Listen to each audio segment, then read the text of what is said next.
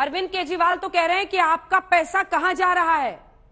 मनरेगा का आपने पैसा कम कर दिया है, राज्यों को मिलने वाले टैक्स का पैसा कम कर दिया है, और आप राज्य सरकारें जो अपने तरीके से स्कीम चलाती है, रेवड़ी का जिसे आप कहते हैं, मुफ़्त मुफ़्त मुफ़्त का कहते हैं, उस पर आप रोक लगाने की कोशिश कर रहे हैं। वो कह रहे हैं, ये तो जन कल्याण है।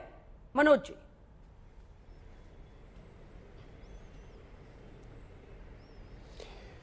अंजना जी अगर आप केंद्र सरकार की योजनाओं को याद करें तो हम आपको याद कराते हैं आयुष्मान योजना जो इस देश के 55 करोड़ लोगों पर लागू होती है।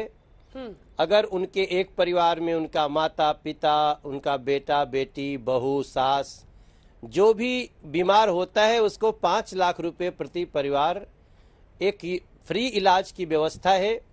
दिल्ली छोड़ करके हर लगभग लागू है। एक दो राज्य और नहीं लागू कर रहे हैं।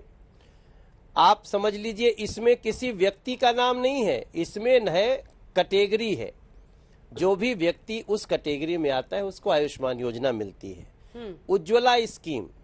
हमने घर घर फ्री गैस जब देने की बात करी तो हिंदू हो मुसलमान हो सिख हो ईसाई हो इस आधार पे नहीं किया। हमने उसको एक गरीबी के आधार पे सामाजिक स्टेटस के आधार पे किया। इसके बावजूद भी जब डीजल पेट्रोल की कीमतें आसमान छू रही थीं तो सभी के लिए ये नहीं सोच के कि उसको मनोज तिवारी डीजल भरवाएँगे या संजय सिंह डीजल भरवाएँगे हमने सबको दो दो बार पाँच रुपया दस रुपया प्रति लीटर और तब भी हमने एक ही कैटेगरी रखी कि इस देश के तमाम लोगों को एक साथ देंगे कैटेगरी बनाएँगे तो कैटेगरी का पालन करेंगे। लेकिन वहीं रेवड़ी रेवड़ी शब्द जो आया है हाँ। उसका एग्ज़ाम्पल कहाँ मिलता है? कहा? इसी दिल्ली में कहा गया पानी माफ़ बिजली हाफ़। अब आप ही बताइए कि क्या दिल्ली में पानी माफ़ है? बीस हज़ार लीटर पानी माफ़ है। पानी सबका नहीं माफ़ है। और पानी के बड़े बड़े बिल आते हैं। कहा क्या गया था? पानी माफ़ बिजली हाफ़। 400 यूनिट तक लोगों का हाफ़ है। लेकिन ये सबके बावजूद किसको फ़ायदा हो रहा है? क्या आपने जिनको कहा था वादा किया उनको दिया? नहीं।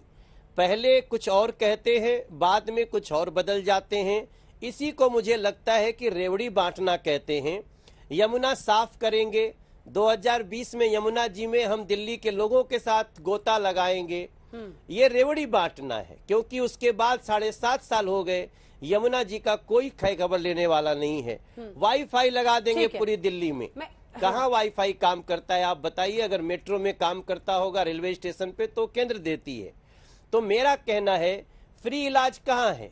बेघर को कब तक आप हम बेघर को घर नहीं दे करके क्या करना चाहते हैं? तो मेरा मानना है कि रेवड़ी बांटने पे माननीय कोर्ट ने जो टिप्पणी की है हाँ। वो बहुत महत्वपूर्ण है और जैसा आपने अभी कहा उससे ज़्यादा परेशान आम आदमी पार्टी हो सकती है क्योंकि आम आदमी पार्टी झूठ बोलने की मशीन एक अपने यहाँ रखी है जिनका नाम है अरविंद केजरीवाल।